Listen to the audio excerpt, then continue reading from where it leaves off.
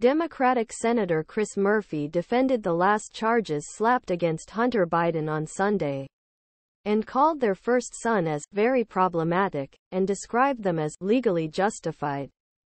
Murphy the scandal was torn to behavior of his first son. He also pushed the Republicans back to use President Biden as a cudgel. Murphy said on Sunday to the NBC's You'll meet with the press. This is a very problematic individual who does things worthy of prosecution. The American people understand that Hunter Biden will not be on the ballot next autumn. Joe Biden will be on the ballot. Hunter Biden was slapped by nine new charges last week three crimes and six misdemeanors allegedly allegedly tax violations. The first son found to be guilty of not being guilty of two misdemeanor tax charges because it was claimed that he did pay income taxes and that the firearms were illegal while he allegedly illegal.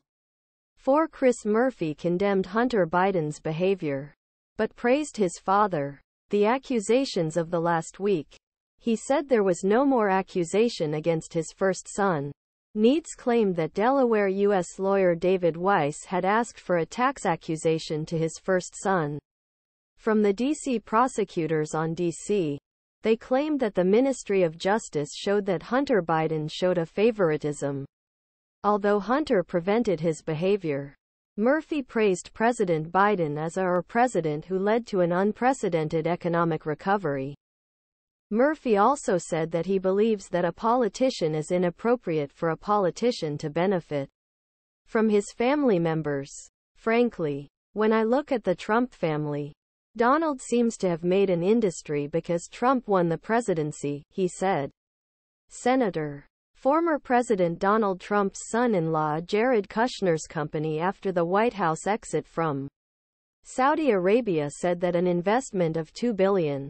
Hunter Biden will be held responsible in court for the violations of the law he committed. Mur Murphy added, as he puts pressure on his first son's construction machinery. The Republics of Assembly opened an investigation of an accusation against President and returned from family members on allegation that Hunter Biden was allegedly dazzling.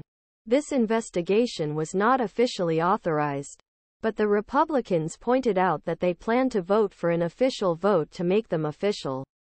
Last month, the Republicans would appear to witness Hunter Biden this Wednesday.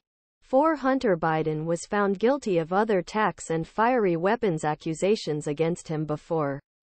His lawyers offered to express him openly. But the GOP slapped it. The White House launched investigations against the president as a partisan effort.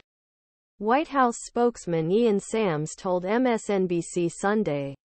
They want to overthrow what happened in 2020 and use their forces to start these unquestioned political attacks against the president.